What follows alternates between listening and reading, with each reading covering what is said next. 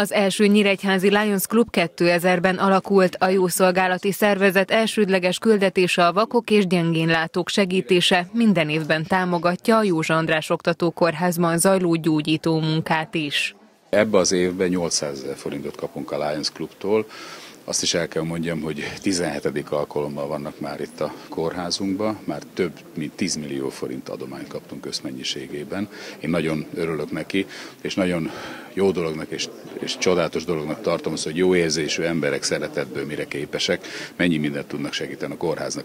Az adományból a személyzeti osztály próbakereteket vásárol, amely naponta 100-120 beteg vizsgálatát teszi majd lehetővé. A klub idén is jótékonysági bájának bevételéből segíti a kórházat. Nem szerettünk volna egyéneket támogatni, Tudjuk, hogy nagyon nagy szükség van az egy, minden egyes egyének, aki, aki szükségét, valamilyen szükségét érzi annak, vagy hiányban szenved, hogy pénzt kapjon, de mi inkább a kórházat választottuk, mert ezen keresztül sokkal több embernek tudunk segíteni.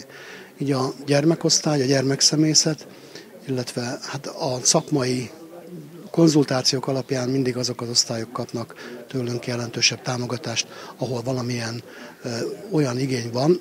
Persze nem több milliós igények, hanem olyan, hogy mondjuk egy műszernek az alkatrészét kell pótolni, vagy javítási költséghez tudunk hozzájárulni. Az ortopédiai osztály is új eszközöket vásárolhat az adományból, amelyeket izületi sebészeti beavatkozásoknál használnak majd. A pénz hozzájárul egy diabéteses lábszakrendelő kialakításához is. Becslések szerint Magyarországon évente 4000 ember veszti el az alsó végtagját, cukorbetegség következtében kialakult súlyos elváltozások miatt. Ezek döntő többsége megelőzhető lenne.